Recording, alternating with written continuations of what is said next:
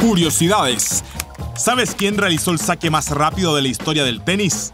Se trata del australiano Sam Groth, quien además posee los tres servicios más rápidos de la historia. Los consiguió además en el mismo partido, sacando en primer lugar a 253,5 km por hora, luego a 255,7 para lograr conectar un servicio a 263 km por hora. Una auténtica barbaridad.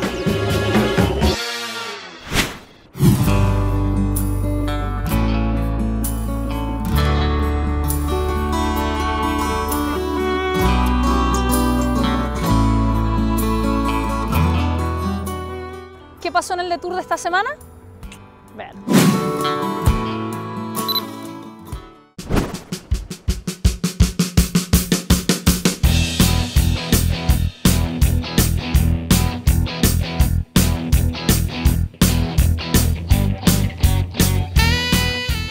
Estamos llegando al zoológico de Australia. ¿Cómo se llama este zoológico? Melbourne Zoo. Vamos a ir canguro, koala, eh, toda la fauna australiana en el Melbourne Zoo.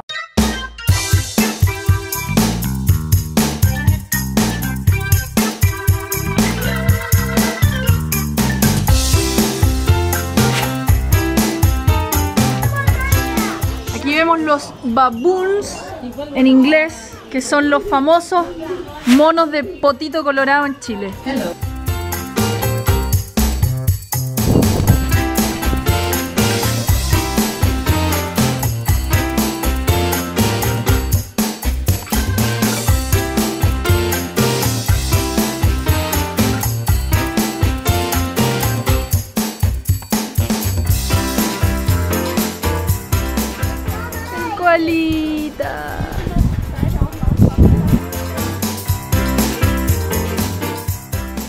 Suerte porque normalmente están durmiendo estos, estos animalitos. Acá por lo menos en el zoológico.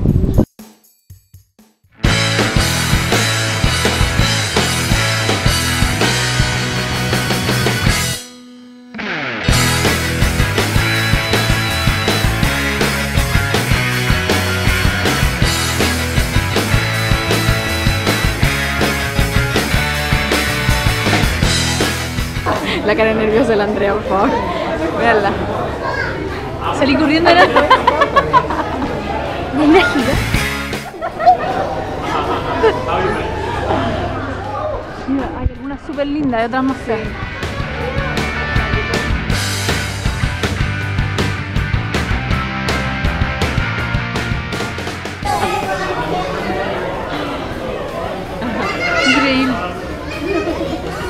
Calor que hace aquí. Mira, esas las dos juntitas. Mira, mira, mira. Ay,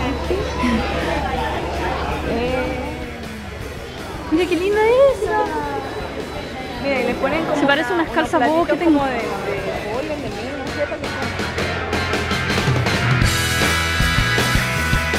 Mira, parece un árbol de Navidad lleno de mariposas. Como si fuera de terciopelo. Oye, esa es gigante.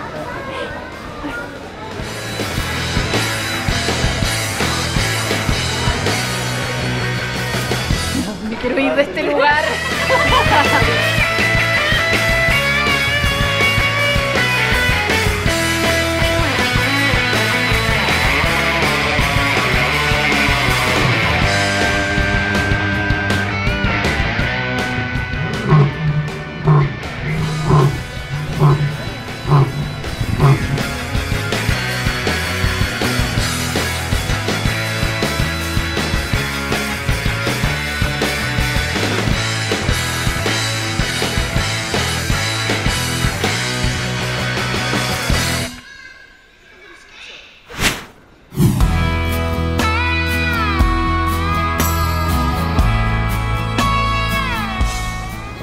con el tenis nacional? ¿Qué es noticia? ¿Cómo van nuestros menores? Veámoslo aquí, ahora, en actualidad.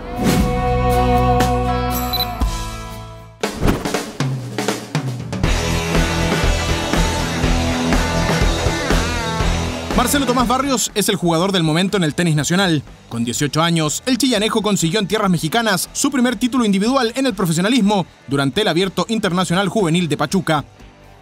Barrios no perdió ningún set en toda su participación, venciendo en la final al barbadense Darian King, experimentado jugador de Copa Davis, que se ubica dentro de los 280 mejores del planeta. Con parciales de 6-1 y 7-6, Tommy se alzó con el trofeo azteca, dando señales de una interesante carrera profesional, precedida de un brillante pasado como junior. El chileno escaló al quinto lugar del escalafón mundial juvenil, que le valió disputar la segunda edición del Master Junior en Chengdu, China. El potencial del jugador de 1,91 centímetros de estatura es seguido por los referentes del deporte blanco nacional, quienes lo han invitado a trabajar en tres series de Copa Davis durante la temporada 2015. Ese mismo año, Barrios comenzó a llamar la atención luego de ubicarse entre los ocho mejores en sencillos de la versión junior de Roland Garros. Con un presente con más luces que sombras en su prometedora carrera, Marcelo Tomás Barrios comienza a irrumpir con fuerza en el relevo del tenis masculino chileno.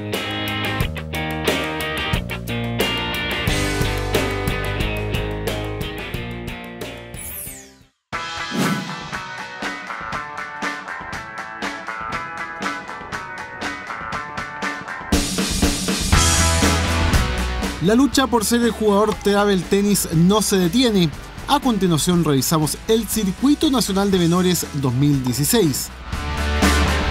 Arrancamos con el torneo grado 2 Copa Milo Estadio Español de Chigoayante. La competencia que se realizó del 8 al 10 de abril tuvo a las siguientes ganadoras en damas. Consuelo Arcón fue la monarca en 12 años, mientras que en 18 Karen Riedel se consagró como la mejor. Mientras que en varones, Matías Laurie en 12 años, Benjamín Herrera en 14, Garrison Abarzú en 16 y Enrique Martínez en 18 años fueron los campeones. Emocionantes partidos tuvo el torneo ATV Valle Dorado en Villa Alemana. El certamen grado 1 se disputó del 28 de abril al 2 de mayo y tuvo los siguientes ganadores. En damas categorías 12 y 14 años se consagraron Paloma Goldsmith y Constanza Cabrera, respectivamente. Mientras que en varones, en las mismas series, los vencedores fueron Nicolás Villalón y Hanamichi Carvajal. Siguiendo con los varones, José Traipe fue el mejor en 14 y Simón Parra lo consiguió en 18 años. De la quinta región pasamos a la metropolitana. Del 5 al 8 de mayo se llevó a cabo el torneo Grado 1 Copa Club Melipilla. En damas, las ganadoras fueron Isidora Cerezo en 12 años, María Paz Núñez en 14 y Valentina Vázquez en 16. En tanto en varones, Nicolás Villalón, Benjamín Torres y José Traipe fueron los mejores en 12, 14 y 16 años respectivamente. Lucas Stirling fue el mejor de todos en 18 años. Nicolás Villalón se ubica en solitario en la primera posición con 550 puntos. Su escolta es Paloma Goldsmith con 400 unidades. En la tercera plaza aparece Matías Olivero con 335 puntos. Simón Parra ocupa la cuarta posición con 330 unidades. Y completa las primeras cinco posiciones Leonardo Martínez en la quinta plaza con 315 puntos. Son muchos los tenistas que poco a poco se empiezan a unir a los torneos puntuables de la competencia. El año pasado no jugué muchos torneos, le dediqué mucho más al estudio, porque es mi prioridad. Pero este año sí quiero jugar también un torneo. No sé si cosas, no están en mis planes todavía, pero nada más que sí. Me gustaría meterme eh, dentro de poco en, en las cinco primeras y ojalá terminar uno a final de año, que sería la meta, jugar todos los torneos para agarrar puntos y todo eso. Me gustaría, sí, quedar entre las cinco mejores, yo el año pasado terminé de seis. Y me gustaría también viajar internacional, porque nunca he viajado. Y eso, ganar más torneos eh, chilenos.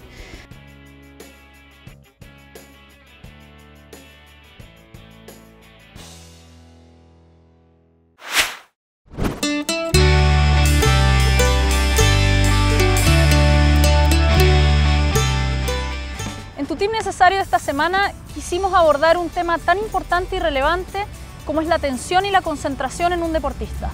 ¿Cómo lo hacen los mejores? ¿Qué es lo que hay que hacer o lo que no hay que hacer?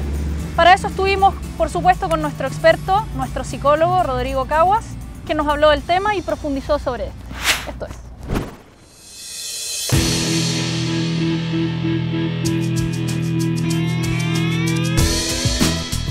Hola amigos de Travel Tennis, eh, hoy día hablaremos de otra variable psicológica muy importante en el juego, que tiene que ver con la atención y la concentración.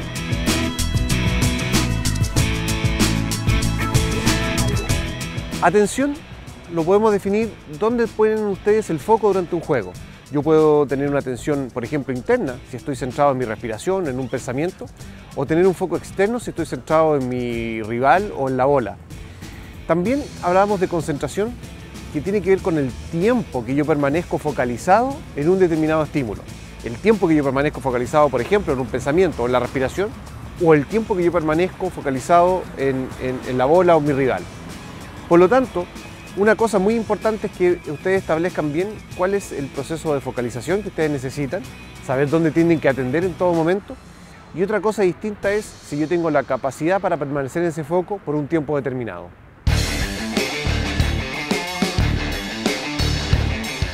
El tips de la semana es simplemente que ustedes durante el partido puedan definir cuál es realmente el foco que para ustedes les hace jugar mucho mejor. Algunos tendrán un foco más externo, otros más interno. Pero que es importante que ustedes sepan que durante un partido ustedes tienen que manejar los dos tipos de focalización. Es decir, ustedes tienen que saber manejar un foco interno en un momento y un foco externo en otro momento. Por ejemplo, si yo estoy recibiendo un servicio, indudablemente que ahí yo necesito un foco externo, necesito estar atento a la bola que va a venir hacia mí. Sin embargo, cuando yo voy a realizar un servicio, tal vez no sería mala idea tener un foco más interno, es decir, por ejemplo, pensar el tipo de servicio que voy a hacer a continuación. Este proceso de focalización y de concentración ustedes lo pueden trabajar incluso en los entrenamientos, tratando siempre de que cuando estén entrenando, estén jugando, estar modificando y cambiando los estilos atencionales, pasando desde un estilo interno, un externo, volviendo un interno, volviendo un externo y así haciendo un pequeño juego con los estilos atencionales.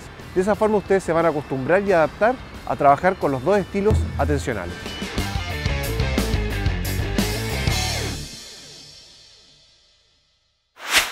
Bueno, nuevamente muchas gracias por su sintonía y preferencia.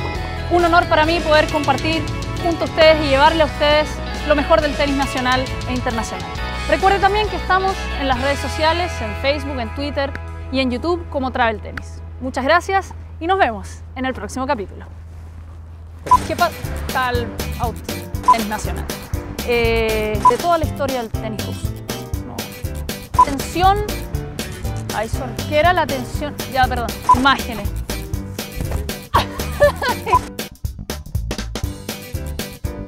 Sintonía y preferencia. Con el auspicio de Yokogawa, Moto y su nuevo smartphone Moto X Style Elige el smartphone que te da más.